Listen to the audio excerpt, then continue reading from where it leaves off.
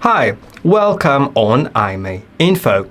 Today I'll show you how to check your model as well as origin and specifications of your phone using IMEI number on imei.info website.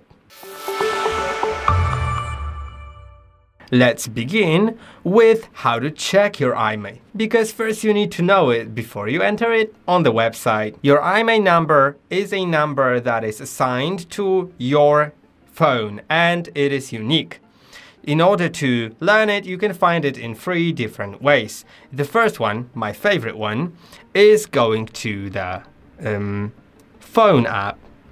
On most phones, it should work. Just go to phone app, then go to keypad. Now dial asterisk pound 06 pound.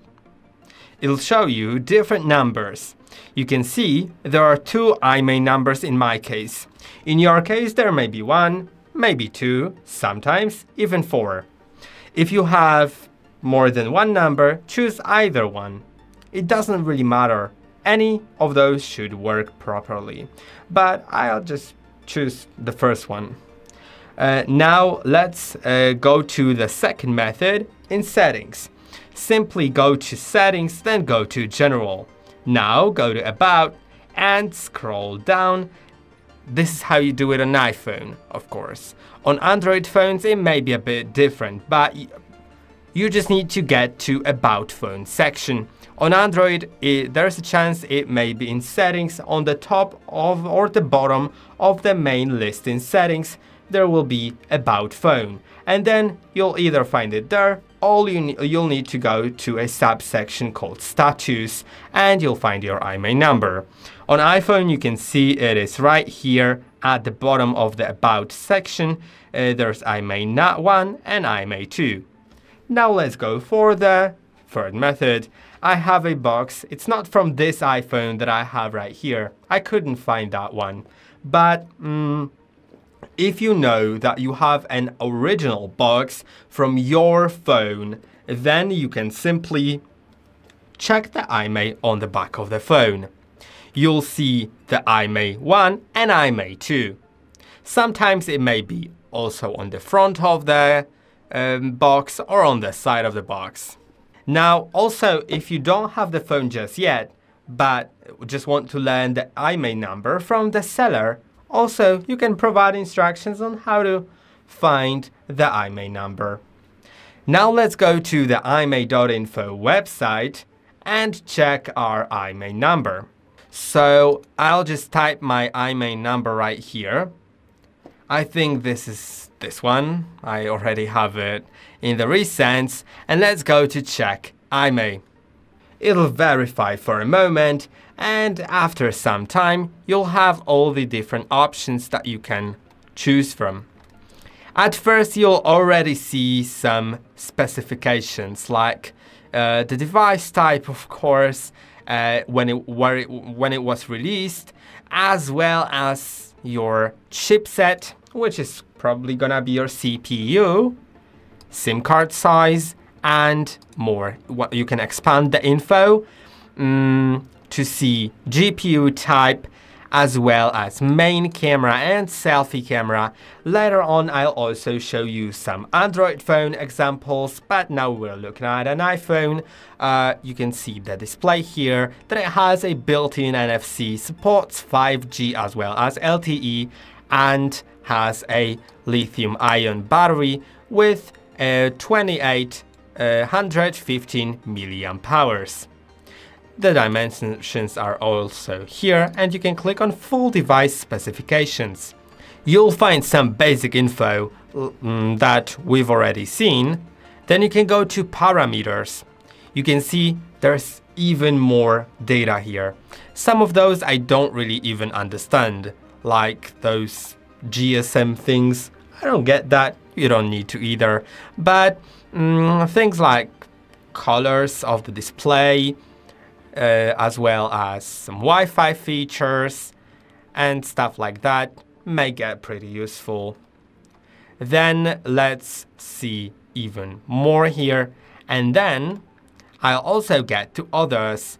You can see I don't have any other data, but uh, once I go back, I also see some free and paid checks.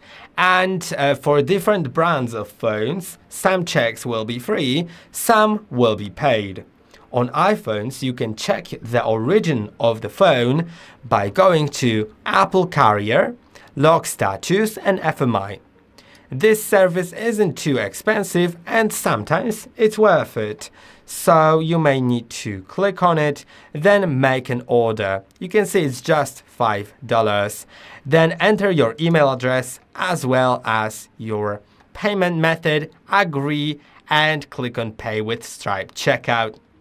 You'll need to pay for the service, then wait from 10 seconds up to 10 minutes. It's probably just 10 seconds, and mm, your report will be generated. I'll show you that when it's done. Okay, so my report was generated. You can see um, there are some other data here, but we are looking at the origin. Uh, once I scroll down a little bit, I'll find purchase country. It is Poland in my case.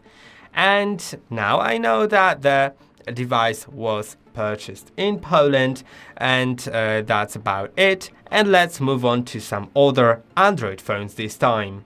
Now, I'll just show you uh, some Android phone uh, origin details because we already know how to check that specification and it's gonna be about the same on all the other phones, but the country may be a bit different. You can see I have a Xiaomi phone right here and uh, this phone actually uh, isn't called like it was called on an iPhone. It was carrier and FMI lock and stuff like that. Here, it's Xiaomi warranty and country checking. We can see the purchase country. It's Poland as well. The warranty status as well. Warranty start date, which also, by the way, there's a high chance that the uh, warranty start date is the uh, registration date of the phone. So when it was purchased, basically. Uh, then warranty end date as well as well as production date. That's about it for Xiaomi. Let's move on to Tecno. Uh, on Tecno, um, there is the Tecno warranty and country checking as well. If I scroll down a little bit, I'll find different things, and here it is named sales country, and it is Bolivia. Uh, so I know that the phone was purchased originally in Bolivia. You can also see some other things here, um, as you would on any other mm, phone. Let's go to Oppo. I have an Oppo phone here, and it's also named Oppo Warranty Checking. On Oppo warranty checking, I also say, see, can see sales region, and it's Thailand. So um, you can see that it may be different for different devices, but at some point you will be able to find the origin. But specifications I think are the easiest to find. As well as your model. Models are all, always written at the very first once you check for your device. Let's go to Samsung now. Um, and Samsung, um, I'm pretty sure it's gonna be Polish uh, because I can already see the marketing name being in Polish. Uh, but yeah, it's also warranty and carrier checking this time. And if I scroll down, then yes, it's shipped to country Poland, but sold by country Austria. I don't really, I can't really explain what it means, but I know that the phone was bought in Poland. So Austria doesn't really like mean where it was bought, but it was shipped to country Poland. So that's what I basically know. And I also know that it was mm, bought at uh, this seller, uh, the name of the company that sold it. And that will be about it for this video. I hope it was helpful, I hope that you could learn something new and see you in the next ones.